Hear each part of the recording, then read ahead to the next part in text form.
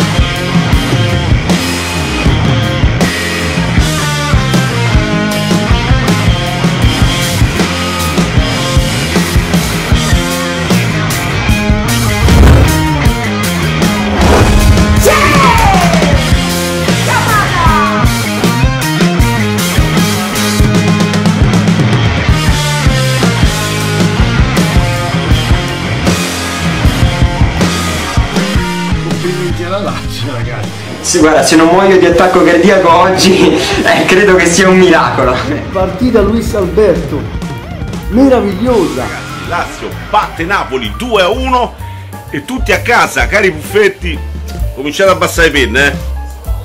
Dai! Mannaggia a voi che cominciate, che, che cominciate a giocare alla terza giornata! Gli esaltati, assata Dio, mamma mia, una settimana cuccia.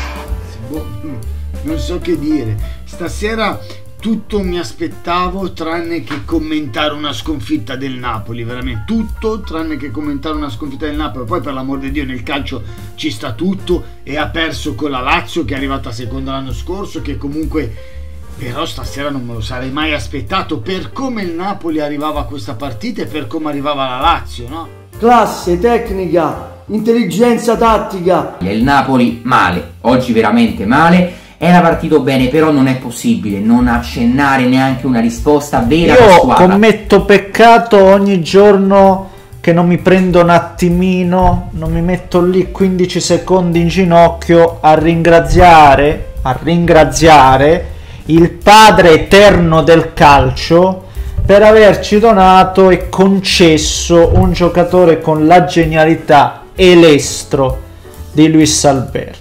Cuccia, cuccia, una settimana cuccia. Queste partite fanno capire che quest'anno la Serie A sarà molto combattuta. Guardate, ho i brividi a, a pensare che questa è una squadra di grandissimi stronzi. Dai cazzo, dai! Oh Dio santo! se la Lazio la lascia in vita, poi la perdi. E anche, tra virgolette, anche malamente.